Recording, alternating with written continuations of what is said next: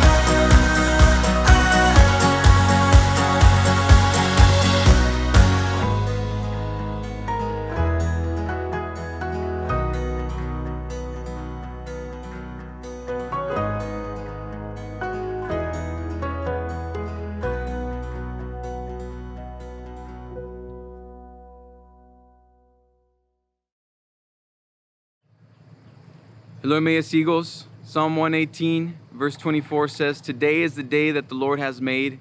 Let us rejoice and be glad in it. I hope you're having a great Friday thus far. Today, we are privileged to have with us our second guest speaker for, for Friday Chapels, Pastor Gary Kirsch from Galena Bible Church. Pastor Gary has been the pastor there for the last 30 years, um, and we are privileged to have him with us today. He is also a graduate of Trinity Evangelical School of Divinity uh, where he received his Master's of Divinity degree, Divinity degree, and also his Doctor of Ministry most recently. Gary will be helping us launch a new Friday Chapel series we're calling A New Normal. This new series is meant to remind us that God is with us, even in the disorienting, culture shifting situations we find ourselves in. Whether because of a global pandemic like COVID 19, a new life stage by choice, or a sudden change by chance, we look to, we look to Scripture for guidance. Before Gary comes, we will have a song for reflection from Miss Elisa Cooper, another one of her original songs, then a scripture reading, and then Gary.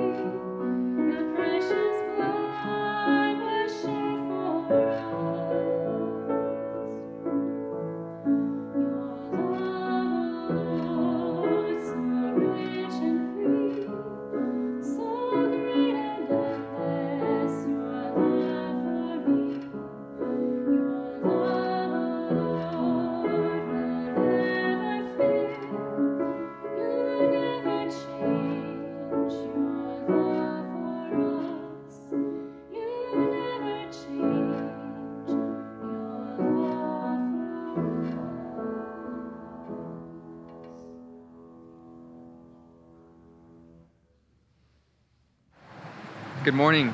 Today's scripture reading is going to be from Acts 28, 17 through 31. Again, that's Acts 28, 17 through 31.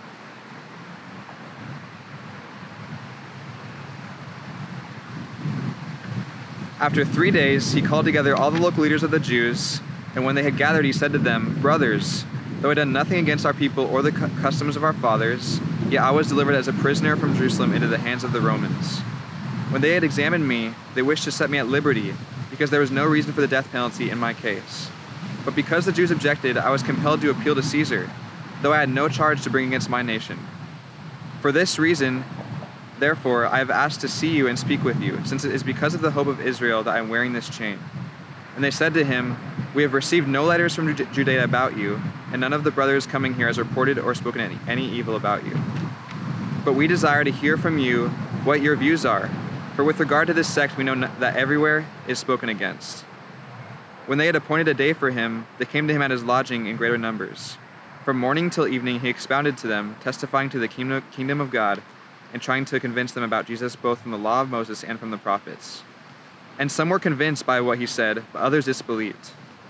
And disagreeing among themselves, they departed after Paul had made one statement The Holy Spirit was right in saying to your fathers, uh, through Isaiah the prophet, Go to this people and say, You will indeed hear but never understand, and you will indeed see but never perceive. For this people's heart has grown dull, and with their ears they can barely hear, and their eyes they have closed, lest they should see with their eyes, and hear with their ears, and understand with their heart, and turn, and I would heal them. Therefore, let it be known to you that the salvation of God has been sent to the Gentiles, and they will listen. He lived there two whole years at his own expense and welcomed all who came to him, proclaiming the kingdom of God and teaching about the Lord Jesus Christ with all boldness and without hindrance. Well, good morning, everyone. It is a real pleasure to be with you. It's always a, a great honor and privilege to open up God's Word uh, with you for an Emmaus Chapel. I wish we could be together in person maybe, hopefully, soon. Uh, but we, you know, we go with the flow here. Well, we have had the joy at our church of working through the book of Acts over this past year. And uh, we come to the end of this series this week with the text that we'll be looking at uh, for chapel today, which was just read for you. Uh, we call this series, Thy Kingdom Come.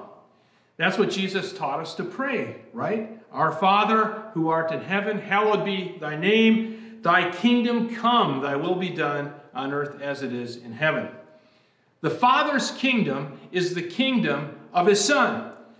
And so we distilled the overarching theme to the whole book of Acts, what we call the melodic line, to be the risen Lord establishes his reign among his people through his Spirit and Word to the ends of the earth. And as we come to the end of Acts, that's exactly what we see. According to Jesus' promise in chapter 1, verse 8, his kingdom extending to the ends of the earth. Paul, God's apostle, finally arriving in the imperial city, Rome, to testify to Jesus.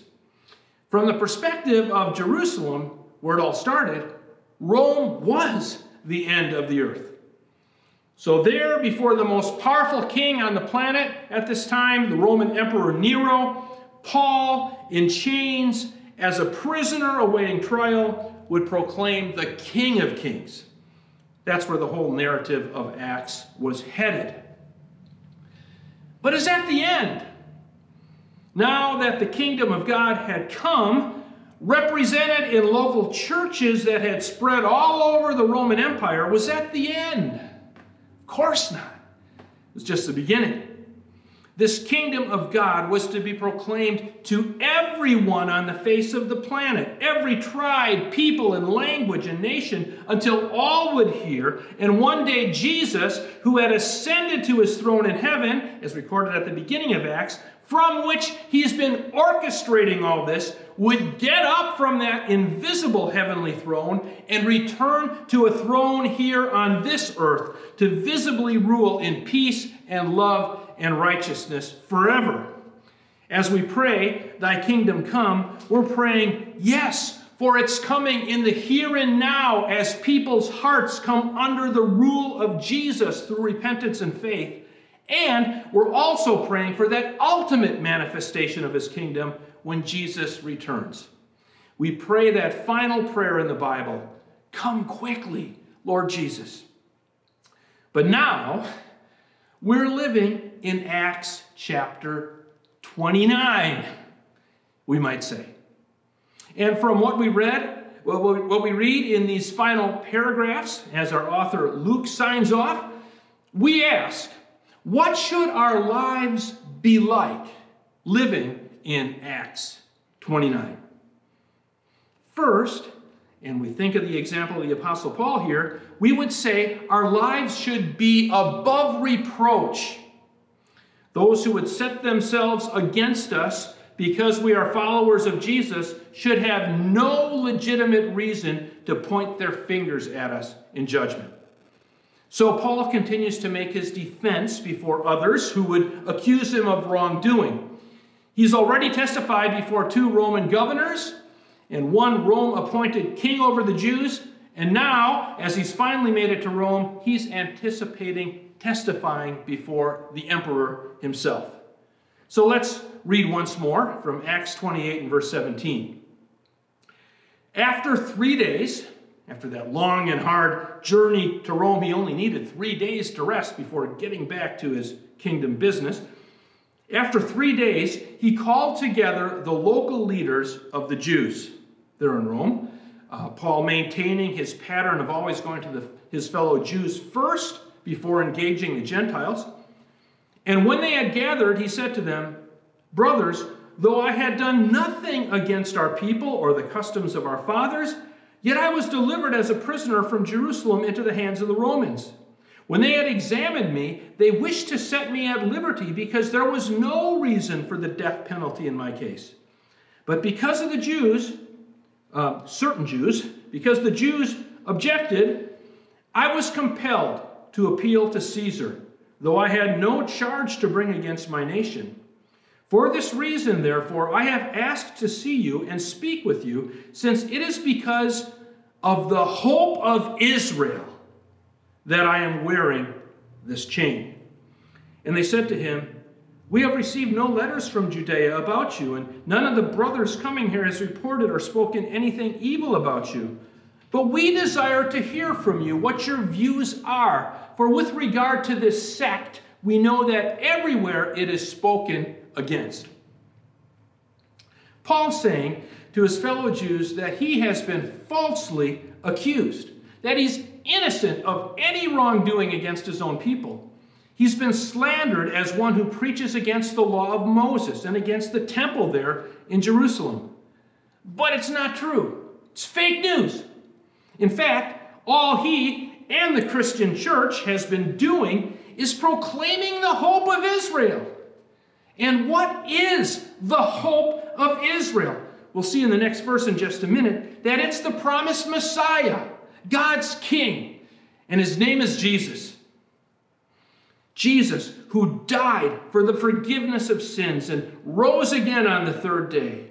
Proclaiming this hope was Paul's only crime.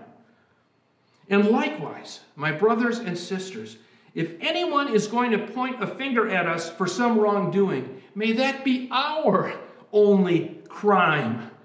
Living consistently with our confession of faith in Jesus. A very appropriate supporting passage in these regards, especially in our present age of rage, is from First, uh, First Peter, Peter's first letter. Keep your finger in the text in Acts 28, but then also turn in your Bibles to 1 Peter chapter 2, beginning in verse 11. Peter, likewise, here is calling believers to live lives above reproach we humble ourselves under his inspired commands. Beloved, I urge you, as sojourners and exiles, to abstain from the passions of the flesh, which wage war against your soul. Keep your conduct among the Gentiles honorable, so that when they speak against you as evildoers, they may see your good deeds and glorify God on the day of visitation. Be subject for the Lord's sake to every human institution, whether it be to the emperor as supreme or to governors as sent by him to punish those who do evil and to praise those who do good. For this is the will of God, that by doing good you should put to silence the ignorance of foolish people. Live as people who are free, not using your freedom as a cover up for evil, but living as servants of God. Honor everyone, love the brotherhood Fear God. Honor the emperor. Servants, be subject to your masters with all respect, not only to the good and gentle, but also to the unjust. For this is a gracious thing when, mindful of God, one endures sorrows while suffering unjustly. For what credit is it if, when you sin and are beaten for it, you endure? But if you do good and suffer for it, you endure. This is a gracious thing in the sight of God. For to this you have been called, because Christ also suffered for you, leaving you an example so that you might follow in his steps. He committed no sin, neither was deceit found in his mouth. When he was reviled, he did not revile in return. When he suffered, he did not threaten, but continued entrusting himself to him who judges justly. That was Paul here as he arrived in Rome and tried to establish rapport with the Jewish leaders there, establishing his innocence. He did live above reproach. Our calling, too, as we live to advance the kingdom. And of course, the foundation of how we live is the Word of God. Paul and these Jewish leaders set up a day when they can hear what Paul and this sect he's a part of, these Christians, this movement that is being spoken against everywhere, uh, is all about. So we read verse 23. When they had appointed a day for him, they came to him at his lodging in greater numbers. From morning till evening, he expounded to them, testifying to the kingdom of God and trying to convince them about Jesus, both from the law of Moses and from the prophets. You see, Paul, now as a follower of Jesus, wasn't making up anything new that wasn't consistent with what God's inspired word, what we call the Old Testament, had it already taught and anticipated. This kingdom of God, this reign of God, this reign of Yahweh, now through his risen son Jesus, is what Moses wrote of in all the prophets. Paul's teaching here in Rome probably sounded a lot like his teaching to the Jews in the synagogue in Antioch, as recorded back in chapter 13. Like quoting from the Psalms, showing how the coming Messiah would actually be God's unique son and would rise from the dead, his flesh not seeing corruption. Certainly, Paul would have turned with these leaders to the scroll of Isaiah, where Isaiah writes about God's suffering servant who would bear the sins of God's rebellious people. That servant has come. He's Jesus. Paul surely pointed to Moses' writing about the great prophet to come in Deuteronomy 18, this prophet who would speak with ultimate authority. Everything Paul would proclaim about the kingdom was anchored in the timeless Word of God. And again, that's our foundation too. It's so amazing how this book is as relevant today as it was 2,000 years ago, even 3,000 years ago, as you think of the Old Testament. It's living and active. It pierces our hearts like nothing else. It comforts our hearts like nothing else. The living God speaks through his word. The kingdom advances as the word advances. Some interesting statements as we go along through Acts, like chapter 6, verse 7. And the word of God continued to increase, and the number of the disciples multiplied greatly in Jerusalem, and a great many of the priests became obedient to the faith. Or 12, 24. But the word of God increased and multiplied. And that's what Emmaus is all about educating and equipping learners to impact the world for Christ. Educating and equipping in what? In God's Word. So soak it up, brothers and sisters. Realize what a privilege it is to, for, for you to be studying where you are. That's life in Acts chapter 29, being anchored in God's timeless word and letting the word do its work both in our own hearts and in those to whom we reach out. And so Christ's kingdom advances. But of course, we know such kingdom work won't always be smooth sailing. Like Paul here in our passage, thirdly, we can expect mixed results to our message. Let's read again from verse 24.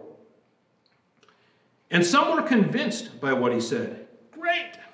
But others disbelieved. And disagreeing among themselves, they departed after Paul had made one statement The Holy Spirit was right in saying to your fathers through Isaiah the prophet, Go to this people and say, You will indeed hear, but never understand, and you will indeed see, but never perceive. For this people's heart has grown dull, and with their ears they can barely hear, and their eyes they have closed, lest they should see with their eyes, and hear with their ears, and understand with their heart, and turn, and I would heal them. Therefore, let it be known to you that this salvation of God has been sent to the Gentiles. They will listen. In trying to persuade these Jewish leaders, Paul sees himself in the same role as the prophet Isaiah back when he prophesied to the idol loving people of Judah back in his day. Not an easy role. Isaiah was given this magnificent vision of God there in, the temple as Isaiah is called to his ministry in Isaiah chapter 6. And after God cleanses him from his sin as the, the hot coal is applied to his lips, God asks, Whom shall I send? And who will go for us? Us, hinting at the Trinity. And Isaiah replies, Here I am, Lord, send me. But then Isaiah finds out what he had just signed up for. And God tells him, You'll preach, but no one will listen. In fact, you'll just make their hearts harder against me. You'll be sealing their doom. Definitely not a church growth technique that would become the latest trend and sell millions of copies. So, for those Jewish leaders Paul spoke to in Rome, that would be the lot of some of them. Many would have eyes, but not see, and ears, but not hear. And Paul's preaching would just seal the case against them, show them and the world just how right they were for God's judgment as they rejected God's Messiah. But yet, we read, others were convinced and believed. We think back to what Luke records near the beginning of his first volume, the Gospel of Luke, and the old faithful man Simeon, who sees Jesus and uh, Joseph and Mary bringing the baby Jesus into the temple.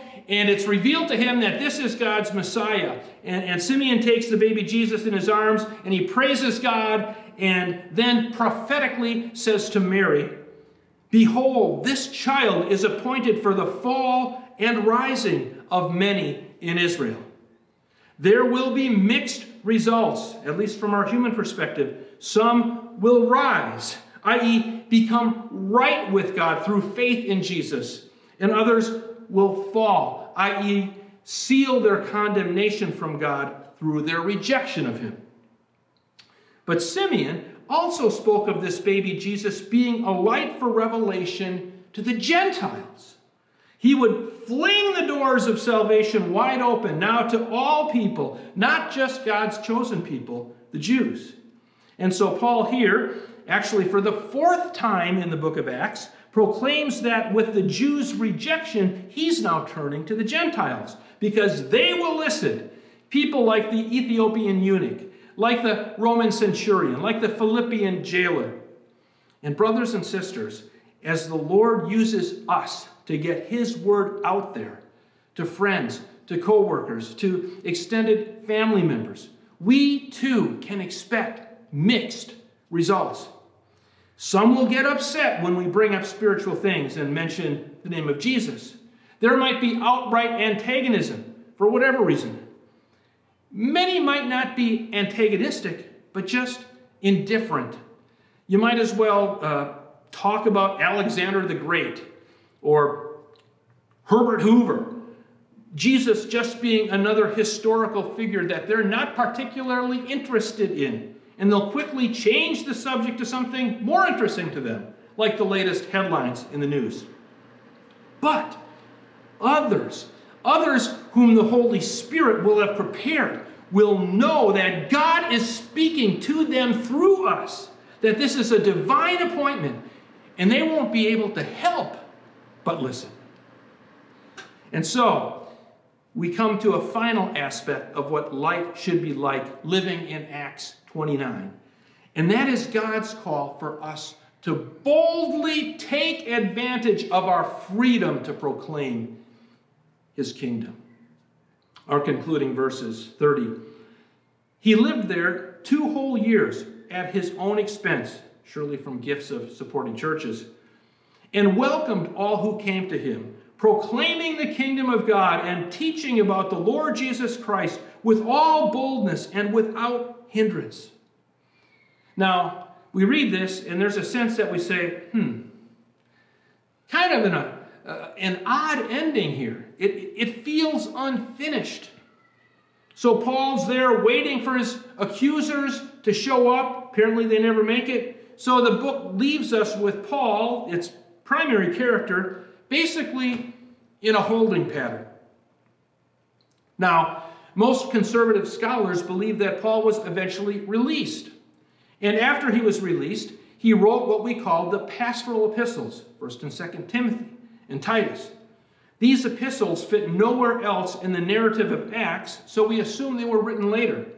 And in 2 Timothy, Paul's last letter, he's about to face the executioner for his death, for his faith. Uh, there's nothing like this free and open ministry that's described here in these last two verses. So, the most likely scenario is that Paul was released from Rome, Roman prison here, and went on to have a few more years of itinerant ministry, quite possibly even making it all the way to Spain, that he said in his letter to the Romans was his goal. And then, as Nero got crazier and cracked down more ruthlessly on the Christians, Paul got re imprisoned in Rome where he was executed. But here, at this point, a holding pattern, open ended, and that obviously, as we believe the Spirit inspired every single word of the Bible, is what God intended. The reader is now invited to join in with Paul and those believers working with him in Rome in their free and bold proclamation of Christ's kingdom. And we do know that even though Paul was under house arrest with a soldier attached to him 24 7, that he had a fruitful ministry. He wrote his letter to the Philippians during this time, and there he writes in Philippians 1 12 and 13, I want you to know, brothers, that what has happened to me has really served to advance the gospel, so that it has become known throughout the whole imperial guard and to all the rest that my imprisonment is for Christ. Paul was the captive, but every man who guarded him became Paul's captive audience. And so he'll say, as he signs off at the end of Philippians, All the saints greet you, especially those of Caesar's household. Whoa! Even some of the big shots there in Rome apparently became believers. And can't you just imagine the guards who came to faith jockeying over who could guard Paul the most? God's sovereign grace in this whole situation is just marvelous. And again, we are invited to join in. If Paul can freely and boldly proclaim Jesus, even under these conditions, surely so can the church who will have read these words for the next 2,000 years. We're encouraged that nothing can stop God's word from doing its work not the power of Rome, not the rejection and opposition of Jewish leaders. Same with us today, here in our personal lives, in the life of our local churches. We just need the boldness to take advantage of the freedoms God has given us. And at the same time, just like with Paul and with uh, the whole trajectory of the book of Acts, we're concerned with the whole world hearing about Jesus especially those who up to this point have not even had the chance to hear what we call unreached people groups.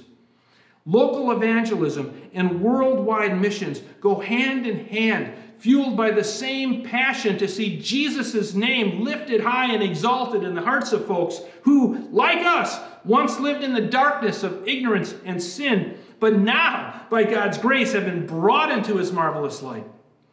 It's interesting the ends of the earth really is a moving target.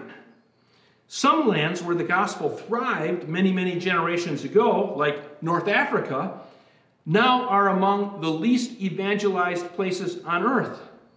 And that needs to be our concern, as well as the concern of every local church in the world. It's been my joy working with a particular tribe in uh, the desert regions of Kenya called the Turkana over the past 20 years. I've gone there 10 or 11 times.